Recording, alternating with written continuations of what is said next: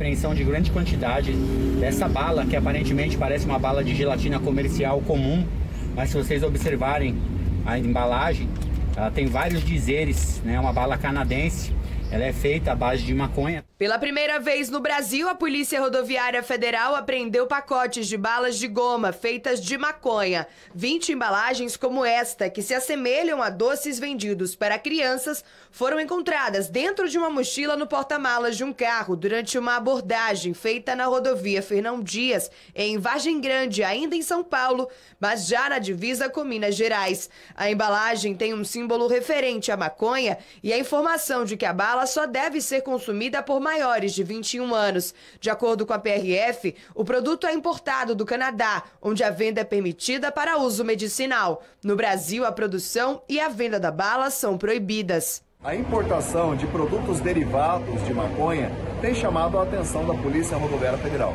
Recentemente, a PRF em São Paulo apreendeu cigarros eletrônicos com princípio ativo de maconha. Isso tem chamado a atenção e a Polícia Rodoviária Federal intensifica cada vez mais a fiscalização para coibir o tráfico de entorpecentes. O pacote de bala em formato de urso foi encontrado pelos agentes da PRF durante a abordagem a um carro feito após eles perceberem que o veículo estava com a placa de trás desgastada. A motorista informou a eles que estava retornando para casa em Belo Horizonte após levar passageiros até o interior de São Paulo. Ela ainda disse que recebeu cerca de R$ 1.200 para fazer o transporte.